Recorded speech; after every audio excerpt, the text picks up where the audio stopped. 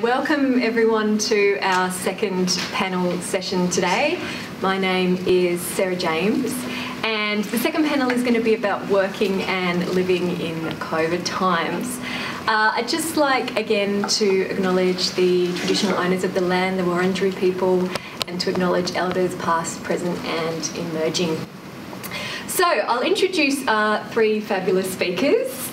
On the end we've got Kay Cook. Kay is a professor in the Department of Social Sciences at Swinburne, and her work explores how new and developing social policies such as welfare to work, child support, and childcare policies transform relationships between individuals, families, and the state.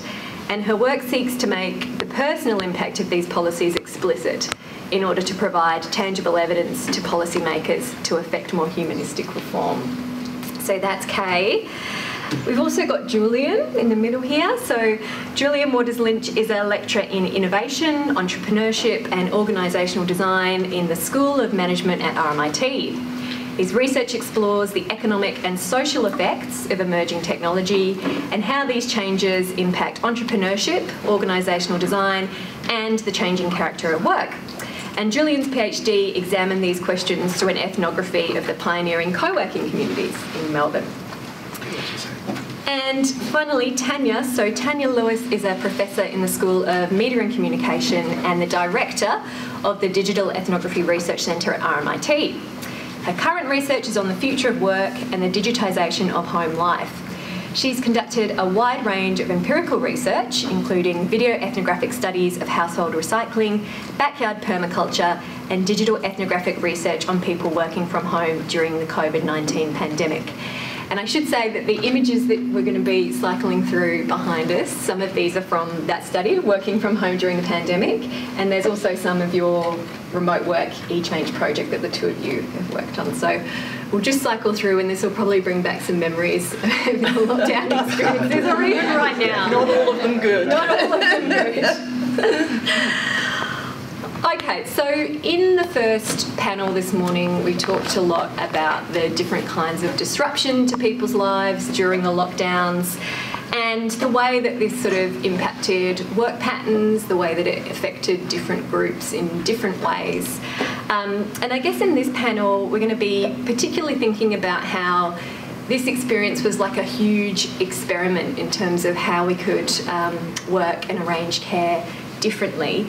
And of course, there were some significant challenges for particular groups when it came to this. So I want to start with Kay because you did some research on the challenges faced by single mums during lockdown. So could you tell us a bit about that? So our survey study was a, a more generic survey of people who were eligible for the COVID supplement. So during the pandemic, there were significant changes to welfare regimes where essentially we brought in what we've argued was a mini basic income trial where uh, mutual obligations were suspended for a lot of people and where people received a supplement that equated to about $40 a day extra in their, their payments. And those two things had profound impacts on people. So one of those cohorts was single parents in there that are typically, once your child is school age, you're put on um, the job seeker payment. You're not regarded as parenting, and so you don't receive a parenting payment, which is outrageous, but we'll get to that later. um, so those people had a really positive experience of the pandemic where some of our qualitative data said that they actually had the resources and the time to parent their children during lockdown. So their school age children who were at home, they now had more money, that they could provide better food, they could um, invest in schooling resources, so coloured pencils and like glue sticks and all of those things that they otherwise they're living well below the poverty line normally. Uh, if they were not employed and or if they were employed in places that were locked down, they didn't have to spend money travelling to their jobs. They might have received the the payment that people were receiving. There was a great deal more money in those households. So for them, the pandemic was a really good experience for them. And then those benefits were tapered off, and now we're back to the below poverty line level wages. People were required to go and seek 15 jobs a day, a day, sorry, a fortnight. And so people are back into having to sort of justify their existence, which removes care from the picture and centres them as workers first, and any job's a good job, which is at odds with their, with the previous panel talked about, that children still have these ongoing anxieties, uh, facing difficulties to, with the return to school, mm-hmm. and their parents are, are taken out of that situation and told to go back and work first. I mean, I think we might come back later because I want to ask you about childcare policies and, and, the new Labor government and some yeah. other things. So, so we'll come back. But just to sort of sit for a little bit longer with this experience of lockdown for different groups. So. Um, Tania, your project that you did um, with the households, I think you said it started in 2020, and you were looking at digitally enabled work practices.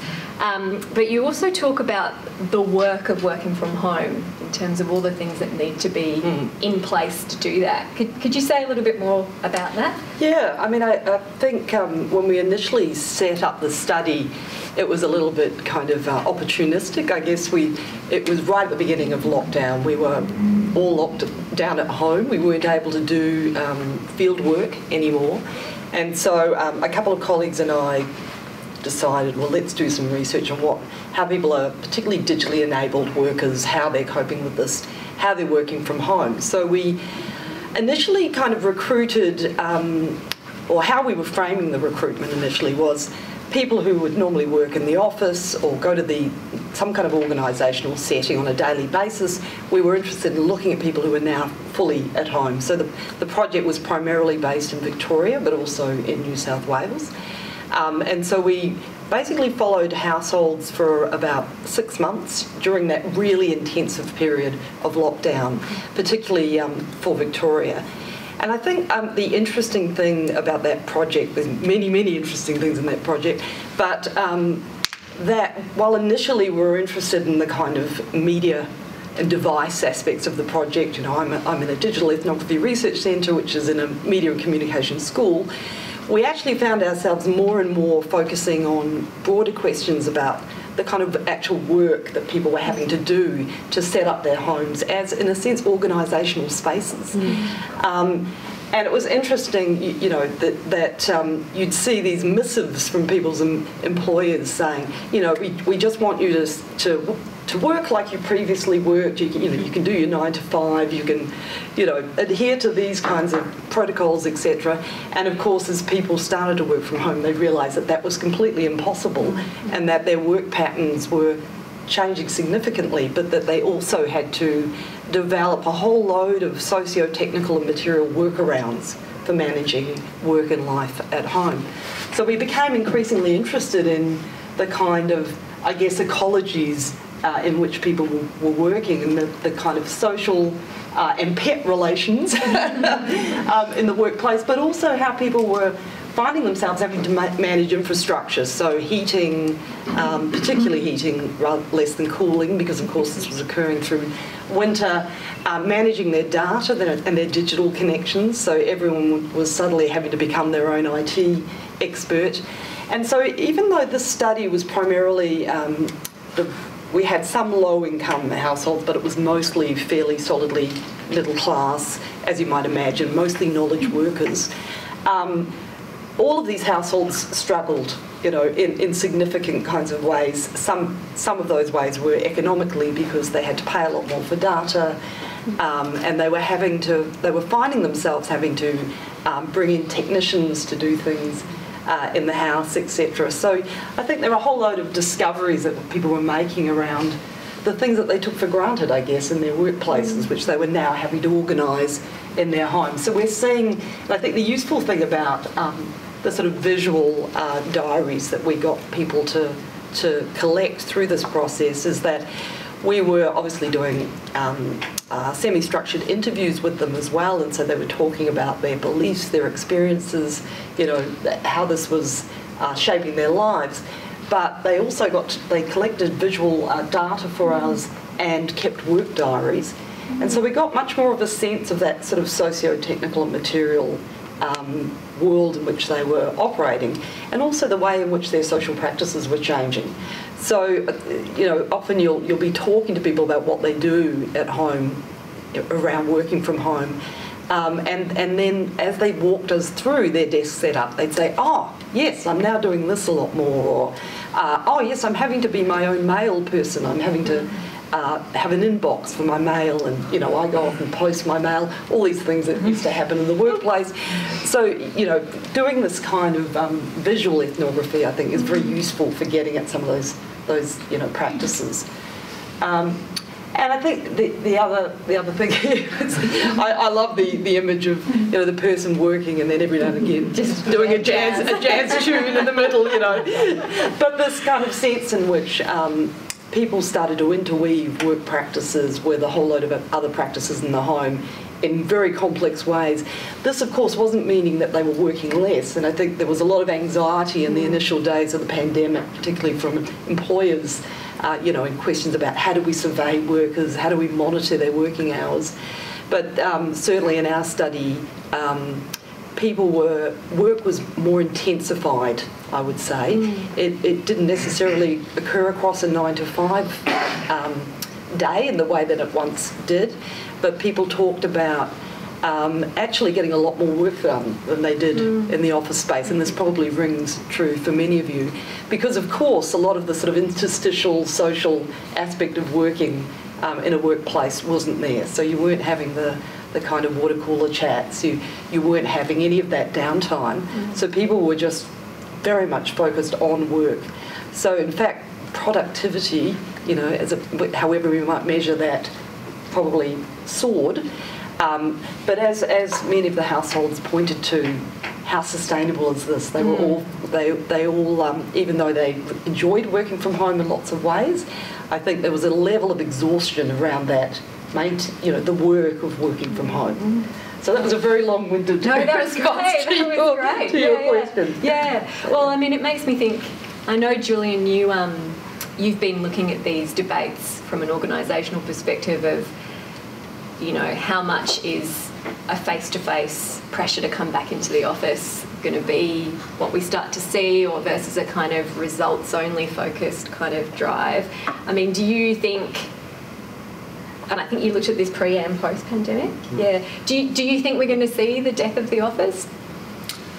Well, the short answer is no, but no. maybe I'll step into it uh, about how I approached it. So yeah. I was, hi, Jules. Um, I was, you know, prior to, to 2020, I, my research had been on co-working spaces, mm. but particularly the early phase of them. So I did my PhD on that as an ethnographer, and they were very different 10 years ago than they are today. If you walk into a so-called co-working space. It just looks like a, an office like anything else in many ways. But back then it was developed, co-working was described by those actors as a kind of social movement and it emerged from, that might be, you know, over, over egging it a little bit, but it, it emerged amongst people that basically could work anywhere, but often young people, right? Freelancers, early stage entrepreneurs if they were thinking about selling business in the 2000s. And they, they, were working from home but found that inadequate for all these other reasons. So mm. sociologically, I found it quite interesting, you know, community at work. And mm. if you had have walked into somewhere like Hub Melbourne uh, in 2011, 2012, it looked like you were walking into something that was half a startup and half a kind of hippie commune. There were plants and chai and people sort of having these very passionate conversations in the kitchen about you know, now that they've left the banking sector, they want to work with people and, and all this sort of stuff. And it was often put forward as a contrast to the sort of suffocating environment of standard work or, and, and management that mm-hmm. you'd see represented in Dilbert cartoons and The Office and all this, right? They're like, we're free, but we want each other somehow and it was quite uncertain and, and, and a, a, sort of project that commercially didn't really work that model. Mm. So what co-working did, and I will get to the pandemic, but mm. it went, you know, the, all this hippie sort of stuff is nice, but the thing that pays the bills is private offices and getting Australia Post into the top floor, and then, and so a lot of that social connection stuff, uh, they, they, couldn't. Uh, the way to put it diplomatically and fairly is, the entrepreneurs driving it couldn't really find a business model that sustained that privately. Um, but what it did do, when I was doing that, I had to look at the history of communi- uh, telecommuting, what used to be called that, and uh, working from home, and that goes right back to the 70s, right? In fact, the OPEC oil shock was a big um, first drive to say, why are we commuting? Like, well, let's put work into the home. And you found every few years there was always this prediction that just this next technological shift and then everybody's going to be doing it, right? Mm. So you see this amongst Peter Drucker in the 80s saying, soon, you know, we won't, we, will we'll, we'll move information to the people rather than people to information. Um, so it was fascinating when we started this project around, um, we are looking particularly at people that move to the regions. So E, e changes, right, instead of sea changes or tree changes. So they move to Castlemaine and um, pursuing the dream, caught a bigger block, you know, working on the computer, but the, the permaculture garden and all that. And then the, and it seemed like a bit of a marginal sort of interest, right? And then the pandemic hit, and this became like suddenly the biggest story. That, mm. um, and all these other effects that we hadn't first anticipated examining, like housing prices and rental shortages came up. Um, but to your question about the office, which I completely didn't answer. Cool. Yeah. You're it. I did a politician thing. Well, that's most important, right? Um, so th- th- there are these long-standing debates. I link it to productivity, right? So, you know, I've been asked so many times, like, are people more productive or less productive? working from home, and I don't even think we can give a coherent answer to that in the whole because it's so contingent on individual personality factors, on mm. what's going on for them in terms of uh, dependence and care, on the nature of the work itself. You know, there's all these, and when you look at the literature on it, you find just a, a, a diverse array of findings, right? Mm. A very famous study by Nicholas Bloom, economist at Stanford, did like a split test experiment. You hate this one, don't you? But uh, I hate it. It's, I interesting. It. But it's, it's, it's interesting because it's quite clean. They said they, they randomized, like basically a randomized control trial, right? Uh, Chinese, Chinese firm call center work, so very routinized, you know, very measurable by the hour. Um, randomized half went home, half stayed in the office. They found the home workers were more productive, largely because of the, the attribution was less interruptions, less now come into the, the kitchen for someone's birthday, da da da. However, at the end of it, half of them wanted to come back to the office because um, they were worried about promotion, they were worried about you know, they lose visibility, etc. Mm. But when we think about productivity, I mean, there's how much you get cranking through in an hour, but then there's a larger question about, you know, innovation and the contribution that uh, longer term effects have on productivity. And I would argue, I think many innovation theorists would argue, a lot of that comes from unstructured serendipitous encounters. Mm-hmm. And that's the stuff that falls apart when you fragment everybody into the home. Mm-hmm. So I, what I found is the companies that do this really well you know, as in they've been doing this for many years.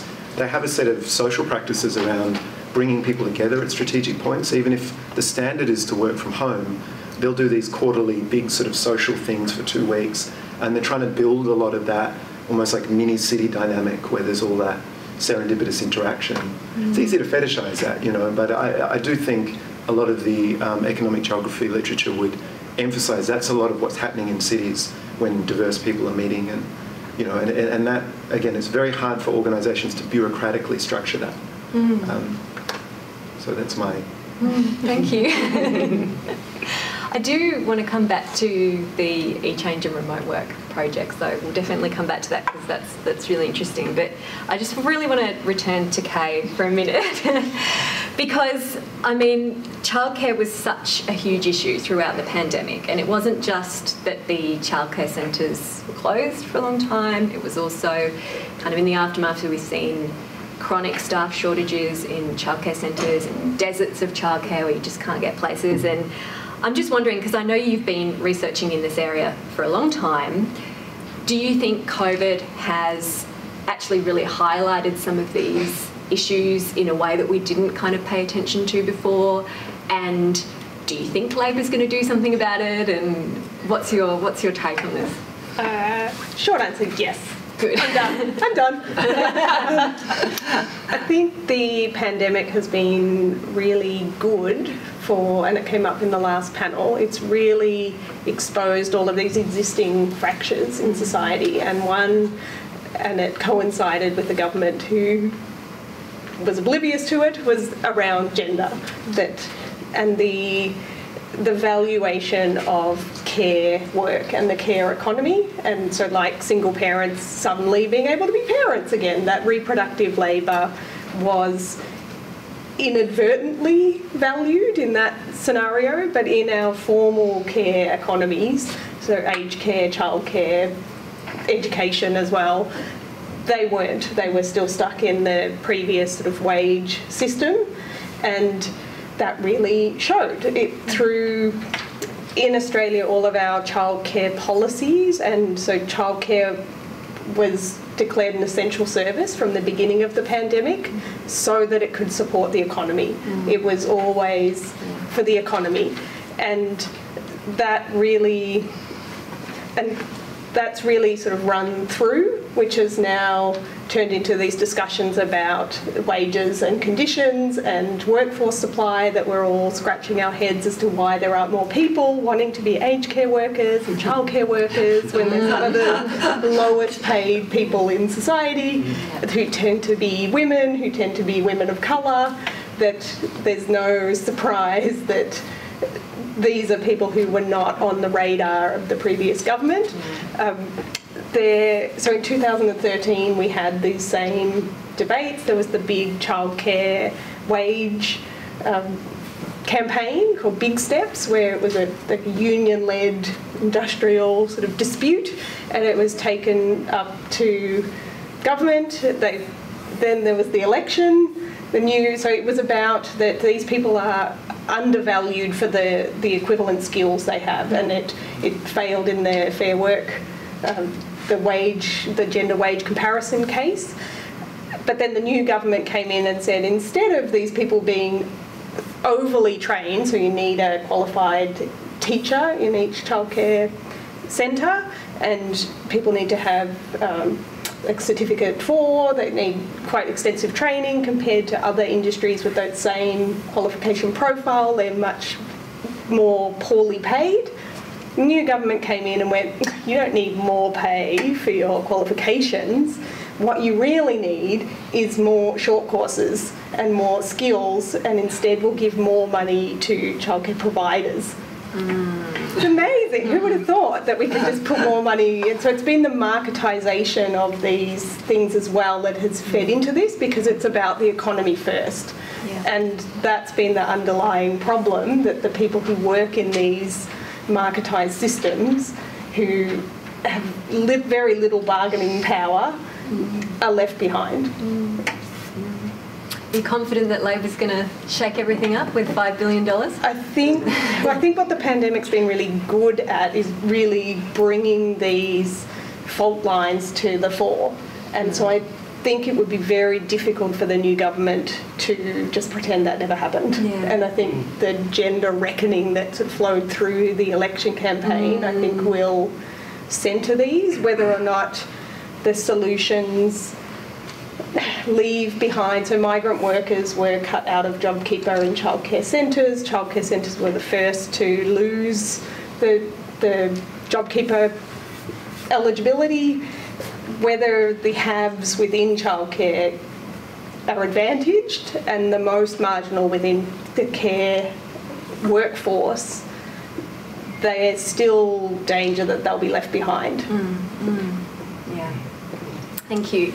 Um, just thinking about the sort of really important gender issues that this has brought to light, I did want to mention that we were going to have um, a researcher who looks at who did a study on unpaid labour in the home during the pandemic and the gender the way that that's gendered differently. But because we've rescheduled this event three times, they weren't able to make it today. But just to say that, yeah, obviously that's a really important part of, of all of this discussion.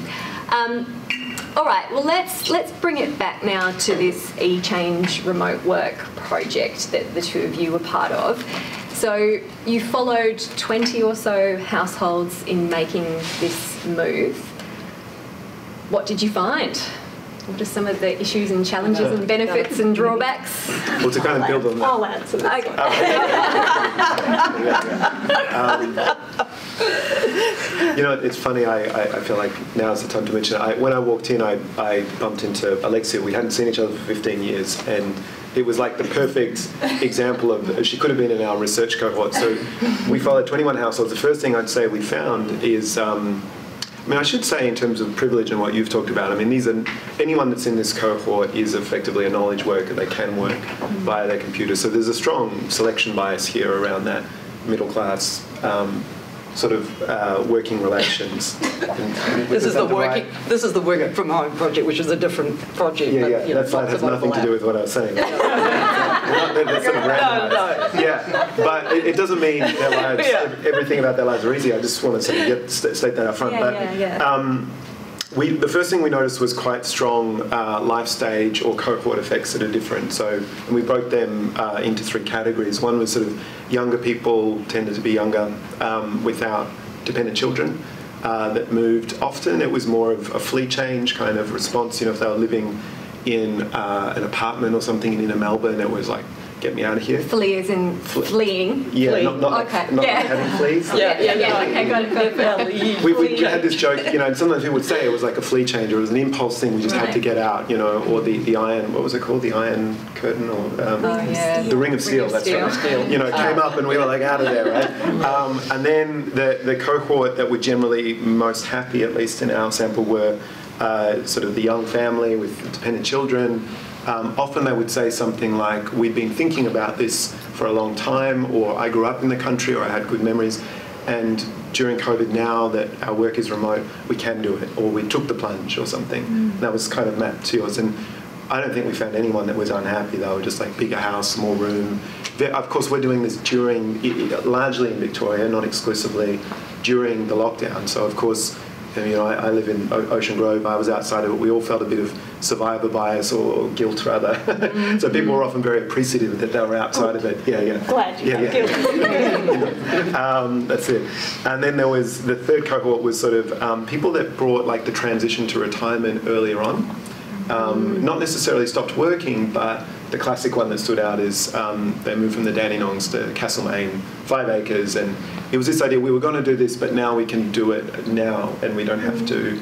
Um, uh, yeah, I'll pause for a second. So that was that was kind of step one.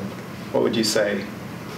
Uh, well, just to note, I mean, we, we actually envisaged the project before the pandemic. So we'd, we'd spruiked it to ACCAN, who is a, like a peak body for consumer technology, um, before the pandemic. And then when the pandemic hit, they were suddenly, that project on regional remote work, that's got to be funded. So um, suddenly, you know, the e-change phenomenon went from this fairly marginal sort of group of lifestyle, you know, driven folk to a much more, um, you know, something that was happening much more across the board. Yeah. And I guess, so we did have this mixture of people who probably were the flea changers, but then we did have I think a large number of the group were people who'd been thinking about it for a long time. Yeah. And then, of course, the pandemic enabled it in a sense. Yeah. But also, we did have people in the study who had done it, who had, were e-changes prior to the pandemic, and of course, who brought a somewhat different, you know, picture again to the to the story. So. Um, yeah, just to add. Yeah, no, let's say something. I'm trying to think of something more interesting but, but short to, to say. I mean, look, the all of the stuff that, that um, Tania was talking about in terms of the adaptation to the home, the the the, um, the pressures around uh, the, the, boundary management between work and non-work life, the when you when you move the spatial separation between work and home, often there's a kind of temporal stretching too. So people might start work earlier, finish early, They're doing washing in the day. Like mm-hmm. there's all of that stuff we could talk about, right? The sort of new work-life practices, um, and of course, this is a lot of the time with when schools are closed and they're managing um, childcare or, or homeschooling. But the story that we didn't anticipate and might not have been there, well, certainly not as acute prior to the pandemic, was I mean, most of these people, and this is reflected in uh, wider quantitative studies too, they're not just moving from Melbourne or Sydney, they're often moving from the inner parts of Melbourne and Sydney, yeah. like the classic one. Mm-hmm. And so there's a sort of urban sensibility, or like all of the values that go with that along with the incomes a lot of the time and the sort of knowledge work. These are people that love the idea of the bucolic vision a lot of the time of chickens and goat's cheese and you know all that from the goat or whatever you know but they they're inner city knowledge workers right they were and they felt that this prior prior to this was a massive trade-off I mean a lot of these people they're in the kind of electrics electorates of Oak Greens but they're, they were often commuting into the city and you know coffee meetings. So there's a big, um, there's a really big cultural shift that we started to detect potentially on the social fabric of these regional and remote. And then of course the, the dark side of that is really intense displacement of anybody that was vulnerable in terms of housing, anyone in the rental market. These places don't have the same kind of housing diversity that cities have. So like one of the examples that always stood out is someone that got divorced and in Castlemaine. And you know, the cities have a way of accommodating this because there's places, or at least not perfect, but there's a lot more difference. And predominantly, there's like four bedroom houses there, and now these are, are like over a million bucks. Um, so the ability to kind of manage how does a kid go to school and households separate, like all these things we hadn't necessarily thought about, um, that became as much of the interesting story here. Mm. And of course, we're in dialogue with councils, pulling their hair out, trying to work out what can we do about this within our purview and what, what do we do here. So. Mm-hmm. yeah, sorry. I just I got stuck in your answer and wasn't thinking about what next. Um, well, I mean, I guess just to add to that, something there, there, there is now, you know, a growing body of work around, I guess, what's what's termed rural gentrification. Yeah. But I think um, it'll, it'll, be interesting to see post-pandemic how this plays out, because Australia, of course, is a particular example. It's it's been so expensive for people to to live in inner cities. Mm. And even though, of course, this is a relatively privileged group, many of them also talked about, you know, the fact that they lived in very tiny yeah. and cramped conditions in yeah. cities, and then suddenly found themselves able to to live you know, these bucolic lives because early on in the pandemic there was affordable housing in, in um, small towns around Australia.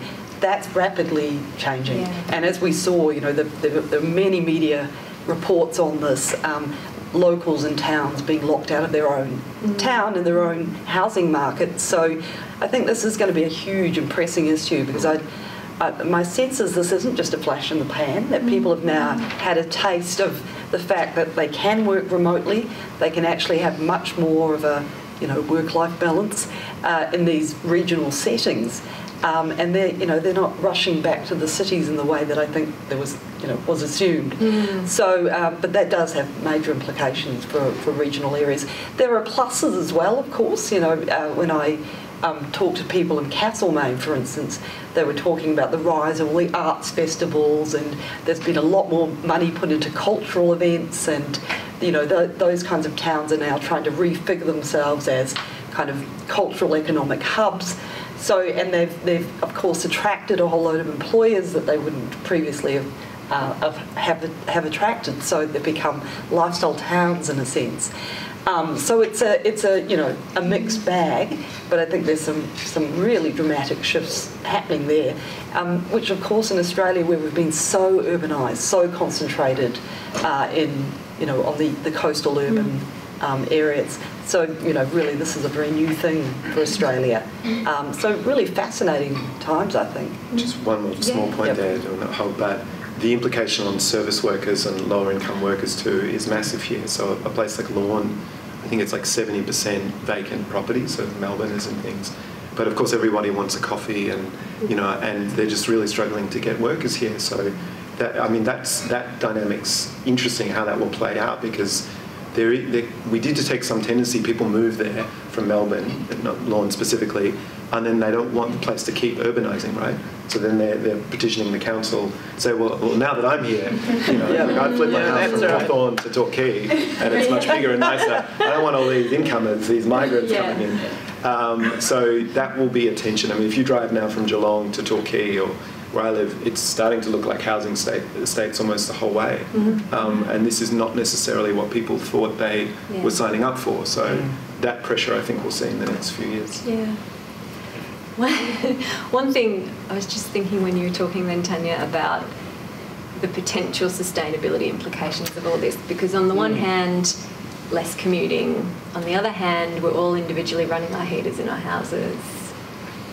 What do you think? Yeah, it's it's it's a really big picture, big question, I think. Because you were uh, researching you know, this before the well, I pandemic, was. We yeah, were doing yeah. work on actually. Yeah, we were we were doing a big project at RMIT called the Sustainable Urban Precincts Project, which was really concentrated on the university becoming the sort of big green, you know, branded university.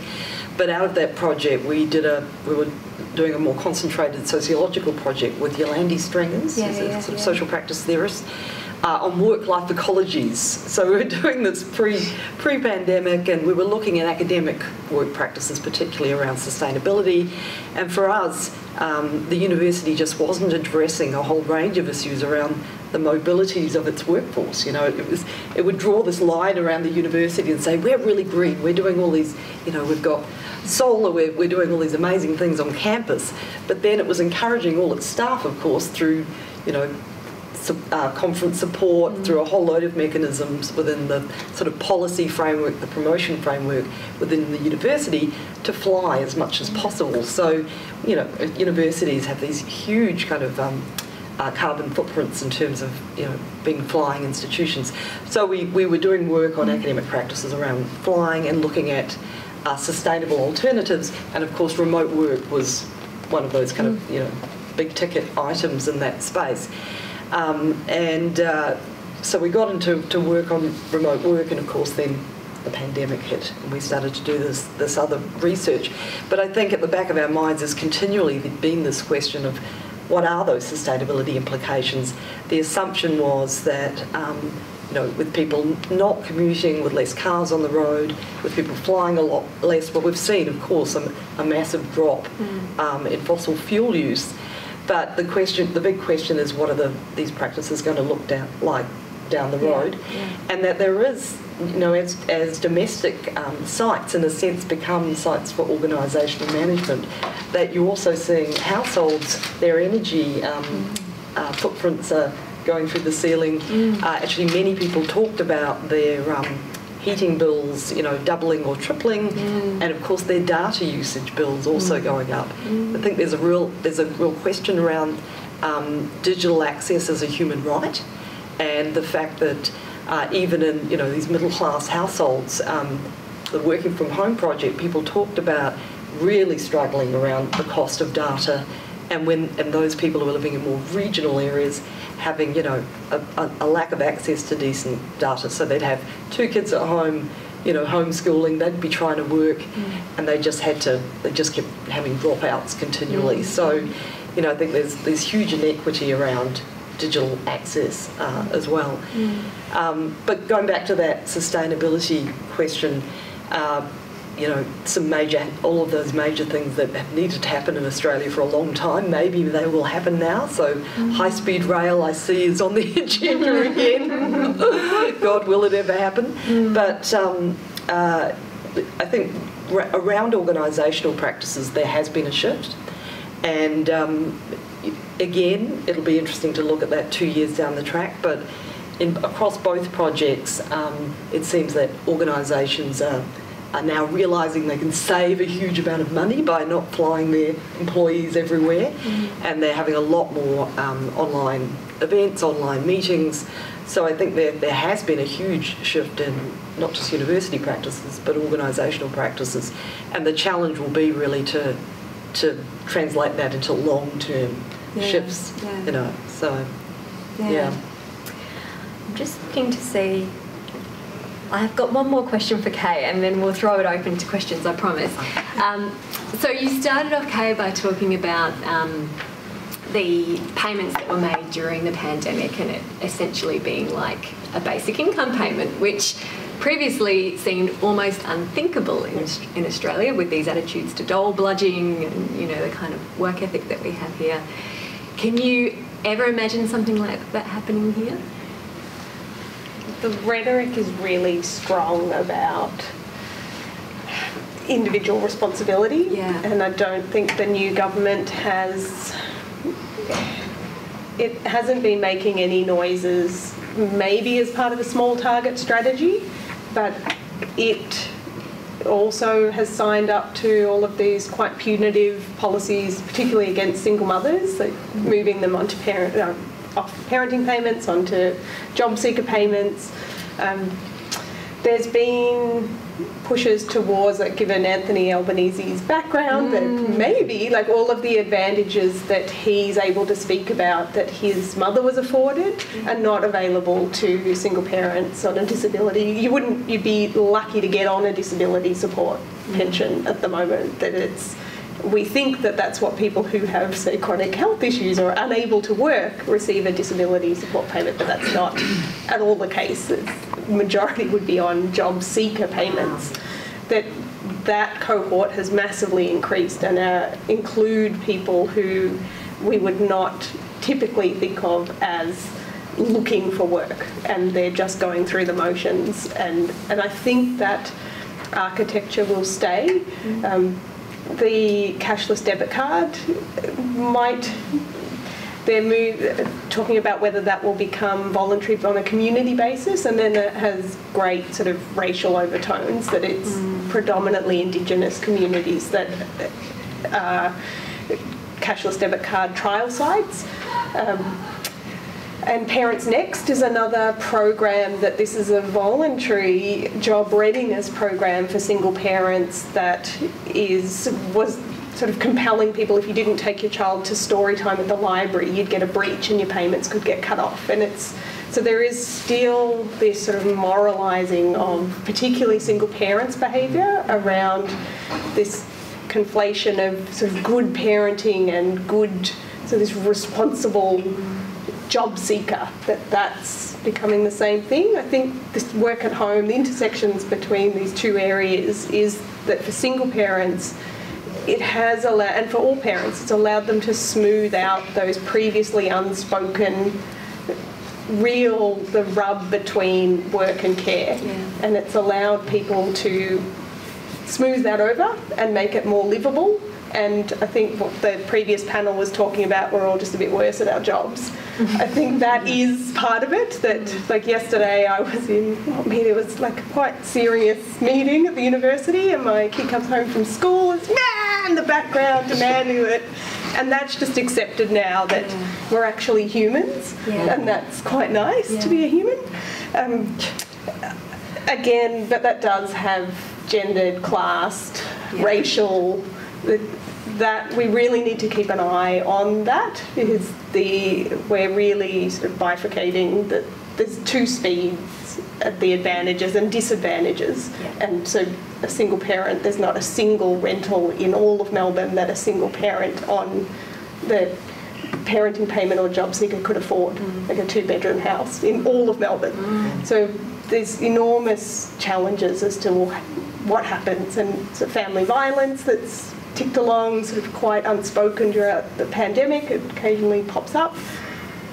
What happens with that? Where does that go when people can't afford to live anywhere? And we're seeing organisational responses around family violence leave, but I think we really need to recentre the structural responses and causes and ensure that they are equitable. Yeah. Yeah. Thank you. um, so we'll throw it open to questions now. If you are on Zoom, please type your question in the chat and Matt will read it out. Um, and anyone in the room, just raise your hand for the mic and we'll, we'll bring it on over. Thank, you. Um, I, my name's Alexa, and I am one of the e changers. Um, but I'm, I, in my other life too, I, I research uh, relationship breakdown, relationship loss, and family violence. I'm really interested in sort of. I can see here in some of the images you're sharing um, how families are kind of negotiating um, the home space in order for it to be both a working space and also a family space. Um, and coming from my academic background, I'm really interested in interested in any tensions that you saw arise, any sort of relationship breakdown in terms of how the study was shared. You know, you showed an image before about two folders and how everybody's sharing very nicely and equitably, and I'm sure that's not the case in all stories. So I was just wondering if anyone sort of shared stories like that, and um, if you collected any data um, relevant to that. Thank you.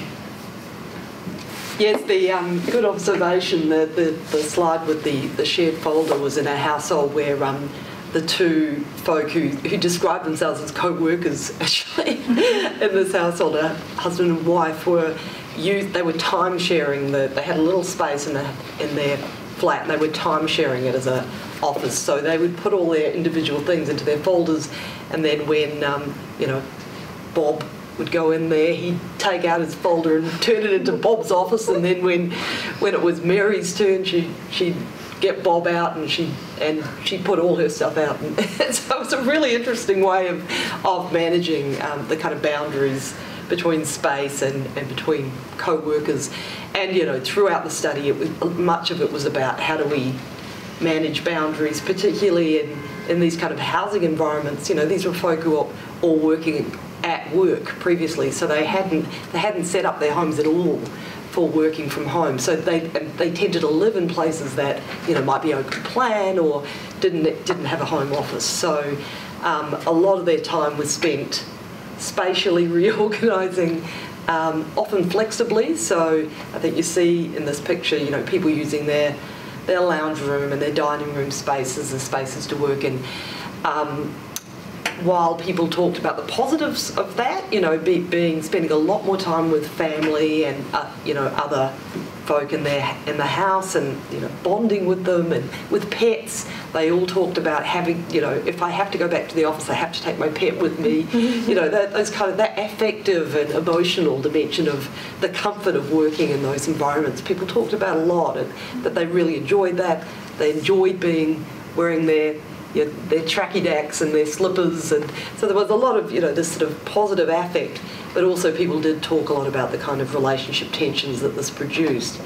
Um, and I think um, and you could think there's a slightly passive aggressive notion there. You know, Bella is hungry. Bella's a dog, and I think this is a sort of partner going, pull your finger out man, you know, manage this. I'm in a meeting. You know, it's, it's these kinds of. So I think those kinds of tensions about when relation when partners do become co-workers and are having to to manage those kind of tensions. That that really did. Um, uh, no one broke up, but there were certainly. Um, you know, quite a few relationships had, had tensions. And, and in one, um, uh, one household, they actually used to go and spend time out in the car. Oh. So, um, which was, you know, so clearly those kinds of setups are not sustainable, you know, post pandemic. Although, remarkably, most people said that they still wanted to have a significant amount of time working from home. So, I think um, people mostly talked about, even though there were lots of you know, it was hard work, etc. They they felt like there were so many benefits um, in terms of you know family connection. Of course, these were very middle class households, so they had a lot you know cultural capital, economic capital um, to manage some of these these issues. But but um, yeah. So it's a very long-winded answer to your question. There are, like, I haven't done this research, but I'm, I'm sure. Correct me if I'm wrong, but I've seen research where men were, if there was a, an office or a spare bedroom, men were much more likely to co-opt that yeah, in that sort of right. 1.5 earner model. The the 0.5 earner was the oh well you you're on the kitchen table or which is in our house. Like I don't have the office. I've got a little desk, which is why when everyone comes in, hello, like everyone's in that meeting, which has now become like the game of how can we get in the meeting. but it, it, it, cemented that women's work was secondary work in households. It was very unusual for it to be divvied up on a timeshare with folders, I think. Yeah, I think the gendering around this is, is so interesting in the mm. sense that, uh, so, you know, I think men, and this is uh, played out in all this, the kind of studies, I guess, that, um, around gender and labour in the home uh, that during working from home, quite a few men talked about it was so nice being able to spend time with the kids and you know and actually I've really enjoyed doing some cooking and, and some laundry you know. Sorry I mean I shouldn't be too trite about this but I, I think um, yeah that, that a lot of that gendered labour that has just been invisible for a long time that that it became a generalised experience. And I guess I guess the question for me is will that have some policy flow through? Will you know will politicians who actually were having to work from home, and a, and a, and a lot of corporate players uh, who were working from home, and, and starting to actually see a lot of that hidden labour that, um, you know, has been invisible. And I guess, I mean, you know, probably I'm being incredibly optimistic around this, but I did feel like um, there was a lot of visibility given to care work and a lot of journalistic commentary as well, mm. um, even in you know, relatively mainstream publications. So I felt like there was there's the possibility there of some of some transformation, Mm-hmm. but I guess we're all going to have to work bloody hard to to make that happen within the policy space, but particularly given what you were just saying, okay? Yeah. That, um, That was actually part of my question was about the gendered nature of access to resources within the home, but not just gendered, but also generational. So I just wonder if there was anything coming out of your study that helps us to understand not just that, you know, the women's work is secondary, but is the women's work secondary even to the children's rights to be able to do their schooling? And so, how did the gender and generational intersect um, in your study? And yeah, what would you like to reflect on in relation to that? I, look, I don't know that we that we systematically studied those relationships well enough to make those comments, and they were small qualitative studies. So you know, I think um, it's hard to kind of make broad brushstroke um, comments, I guess. But um, yeah, I mean, anything that comes? No- Nothing from our study. I mean, the thing that comes to mind in the background of this is one of the last uh, major surveys in the US I saw about, admittedly in the US, about preferences to work in the office or work from home are significantly skewed by gender, right? So more women say they prefer to work at home, and the primary attribution is because they can balance care work. And you know, some of that could be positive, but the, the, the cohort that said they were most wa- wanted to spend time in the office are younger men. And I think this, you know, in terms of career progression, promotion, the it, it's one thing when everybody's at home, but in these sort of hybrid circumstances, in many ways, it's more complex because presumably there's conversations and you know going out for drinks and all of that stuff. If that becomes more a, a much more gendered, polarized place, that has big implications. Um,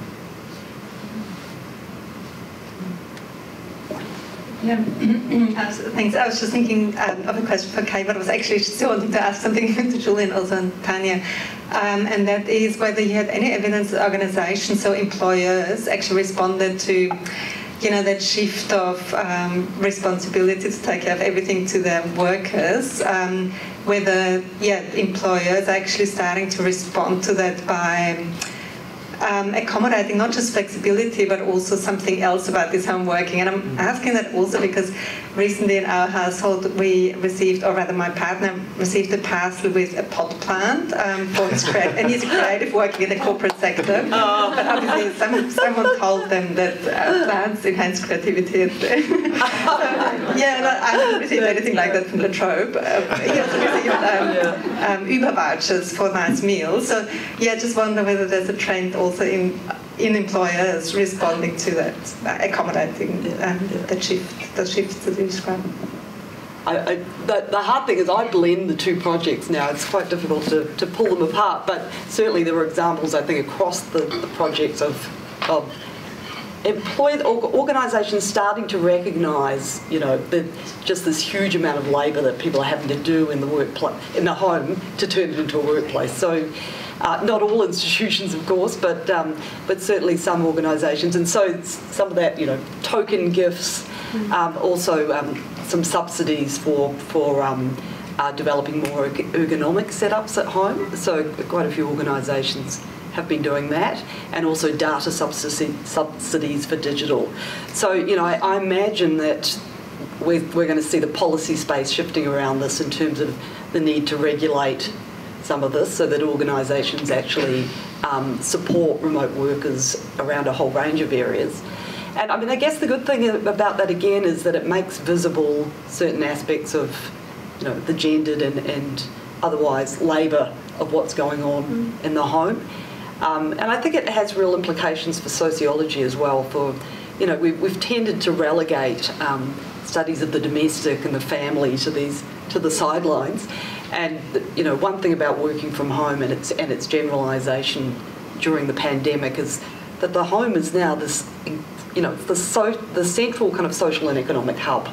Um, it has become that, and I think in many ways it's, it will continue to be to I think have a play a strong role as a kind of um, some sort of hybrid, I guess, between a workspace and a, and a home space. So I think, you know, that has huge implications for, for sociology and sociological theories and categories, but also I think for the sort of ethics and politics of, of um, you know, the normative questions of sociology, you know, how we define the important kinds of questions around, um, you know, when we study work, we tend to focus on organisations. You look at all the journals, um, it's, it's all very much focused on, on really quite old-fashioned constructions of, of of work and where work occurs. So I think we're going to we're going to see some big shifts in, in those spaces over the next few years.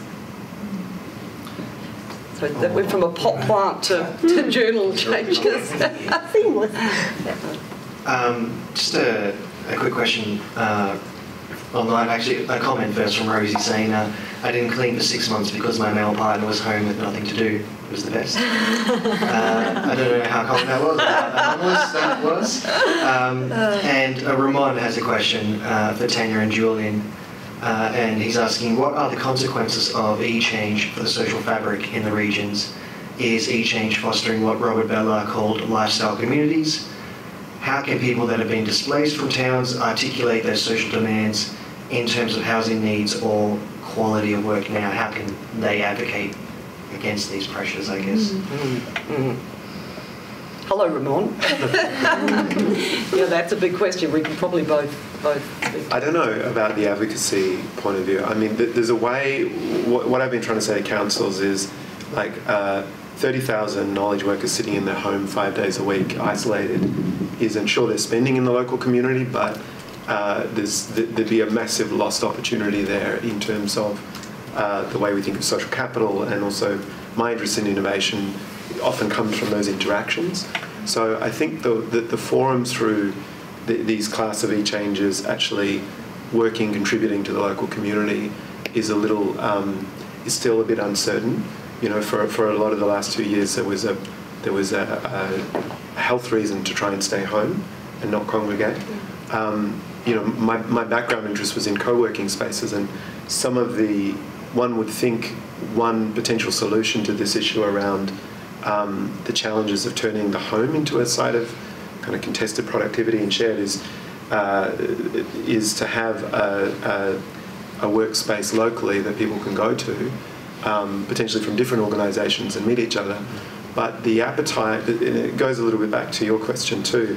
At the moment, for an employee, asking them to pay for that is probably not going to be economically viable. Mm. Uh, a lot of the uh, flexible workspace providers would say, I mean, they tend to set up in the cities. There's not really a model in smaller places that is economically viable. But the, the vision of I always come back to thinking about libraries in the 21st century, and we have sort of public infrastructure there that's paid for with a very, in many ways, 20th century model of access to information, which is you rent a book, and it's, I love them, you know, I have a kid, and we'd go and rent a book, but the reality is, it's, I mean, that was essential post-war for literacy and these things.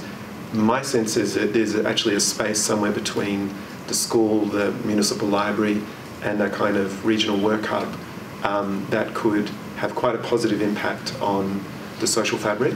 Not not so much for the um, the most vulnerable people, they're kind of separately, but in terms of creating uh, kind of communal life or, or social life there amongst these workers, that could be positive. Yeah, to, to add to that, I mean, I think across the board with the e changes, they all, you know, I mean, one could say this is somewhat romanticised, although, as, as Julian was saying, a, a, significant number of people had, had country backgrounds or rural backgrounds or had spent some time as a child in rural areas. But they all talked about wanting community, mm. wanting connection. Um, uh, ironically, of course, during the pandemic, that was much harder. But, um, but, but, you know, I think for, for many of them, there, there was this real desire to um, move away from, and they often talked in these, these quite stark terms of the alienations of the city, of, you know, of, of the sped up city life where they were just feeling um, very disconnected. Uh, and so, you know, this was, for, for many of them, work was really not the issue. It was about wanting to have a life change. And yes, they were lucky enough to have jobs where, that they could, they could continue to have in a regional area, and of course, with salary attached. So they had urban salaries in regional areas, which goes a long way. Um, and I, but I think for, for a lot of the, those families, they were really aware of the kind of class issues around this, of, of the fact that they're, they're urban cosmopolitans. What does this mean when you move to a, to a small town with an agricultural background or that's largely service um, economy? Uh, you know, so there, there was reflexivity around that. Um, and quite a few people talked about joining community groups, trying to get engaged locally. Um, but um, but I, you know, I think, of course, you do see a kind of a little bit of a siloing effect, a kind of um, uh, tendency for those folk to, to gather with other bourgeois. when Ramon was talking about these lifestyle enclaves um, forming in these kinds of places, and I guess one of the things that we talked to council about was you know, how do, how do you, how might you mitigate against that in, in, terms of your kind of planning? Um, so, you know, we had pretty robust discussions with them and they have concerns, I think, you know, very strong concerns around um, what do these big shifts, migration shifts mean for the future of their, of their towns in terms of diversity, know? One So- tiny, tiny point. Some of people in our cohort expressed the idea that they wanted to work more locally in the community they were actually. They wanted Yep. a kind of career transition. So rather than this attachment to the city. I was just going to add, sorry, from my own lived experience going out to one of, I live in Wangaratta now, I moved out from Melbourne, that um, one of the other mums I met through Playgroup was actually a medical transcriptionist and I had some additional transcription work that I couldn't get to and I actually said to her, do you want to do this work? So she got paid more than she ever would for a medical transcription to do this work. It expanded her skills in terms of doing transcription. She now wants to do more academic work. So there can be these flow-on effects that you don't kind of expect or predict where we're kind of bringing urban work out to the regional rural areas. No one would have ever met her or contacted her if it wasn't for me moving into the area. We're really good friends now. And she helps me in terms of like knowing places to go, you know, places I can take my kids out in bush and stuff like that. So we have this like wonderful knowledge exchange between a local and a newcomer, and she's one of my closest friends. So I think there can be ripple effects, and councils could probably help facilitate some of that for people coming in, connecting us with people who've lived there a long time for us to start sharing some of these resources. Mm-hmm. Well, we're going to have to finish there because we're past the hour. So please join me in thanking Kay, Julian, and Tania for a really great discussion.